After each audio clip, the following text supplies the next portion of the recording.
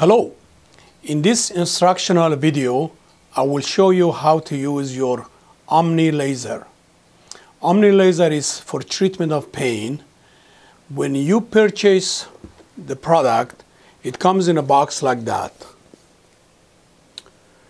So you open a box like I'm doing here and there are three items in it. Item number one is the laser device, which is this one. Item number two is the gel. Item number three is the charger for charging the battery of the device, the laser device.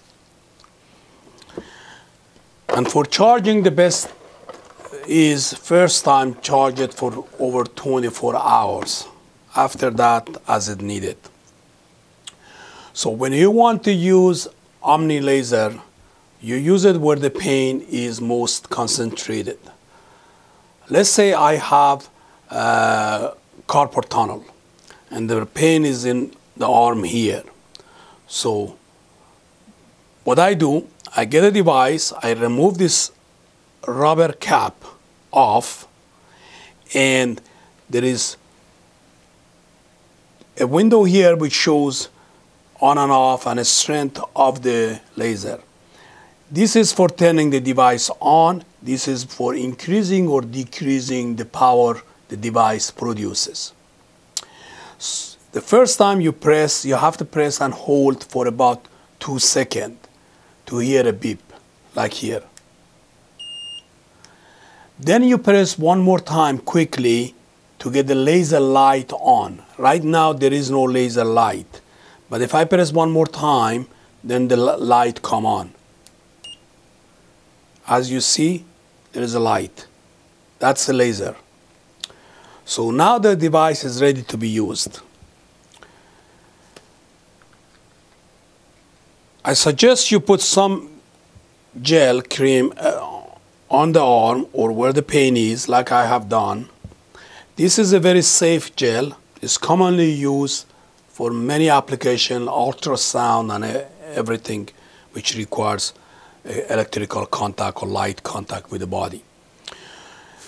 So now I have a gel here. I have a laser device on. So I put it here and then I increase the power. Right now it shows zero, zero. I bring it to about 6. Around 0.6 or 0.5, you, it is the number that produces uh, uh, effectiveness. However, it may vary on person to person. What you need to feel is tingling of the arm or the area that you're holding on and once a while a needle sharp needle uh, feeling like somebody is pushing a needle into your skin. That means the system is working. If you don't feel it, then you increase the power to 7.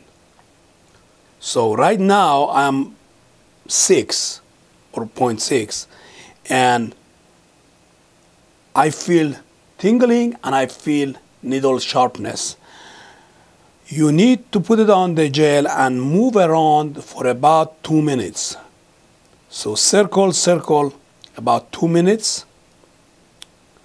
When the two minutes is over, I recommend you stop and you can start another time.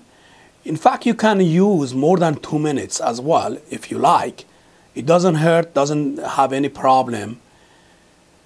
But the recommended is two minutes up to five, six times a day or as required by uh, feeling of the pain you have.